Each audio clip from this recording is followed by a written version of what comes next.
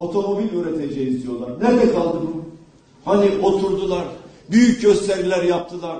İş adamları bir araya geldi. Bakanlar, başbakanlar, cumhurbaşkanları bir araya geldi. Otomobil üretiyoruz dediler. Nerede? Milleti kandırmak için. Nerede? Yapabilir mi Türkiye? Yapabilir. Ne lazım? Güçlü bir siyasal irade lazım. Ne lazım? Vatan sevgisi lazım.